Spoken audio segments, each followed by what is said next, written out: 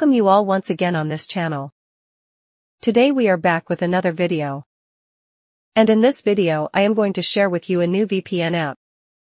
That will help you get a secure connection while using the internet. This app is already available on the Google Play Store. Before we get started, if you are new here, I recommend you to subscribe, like, share, and leave a comment if something is not clear so that you don't miss any of my future videos. Now let's begin. First, open the Google Play Store. In the search bar, type the name of the VPN Pro. This VPN helps you get a fast and secure internet connection. From the results, make sure to choose the correct app by checking its name and icon. Once you find it, Tap on it and then install it on your device. After installation, click on the Open button to launch it. When the app opens, you will need to do a few simple settings so it works properly and secures your connection.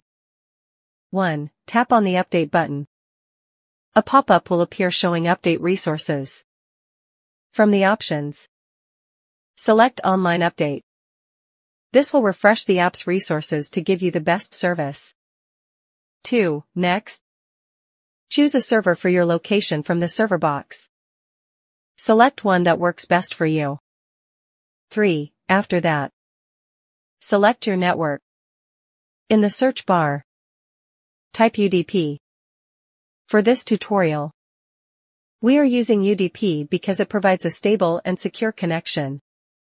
If your country does not support UDP, simply select your local network name from the list. 4. If your session time runs out, you can extend it by tapping the Add Time button. 5. Finally, tap on the Start button to begin a secure connection. As you can see, the VPN connects successfully and gives you a fast, secure internet experience. That's it for today's tutorial on how to use ProVPN. Thank you for watching. And I'll see you in the next video.